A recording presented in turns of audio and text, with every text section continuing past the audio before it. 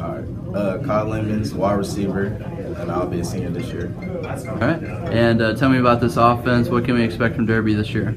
Uh, you can expect us to score a lot of points, uh, be an efficient offense, and yeah. Uh, Cooper Welch, corner senior. And the defense, I mean, big expectations on that side too. Yeah, we have a, had a lot of returning starters, so we're pretty good.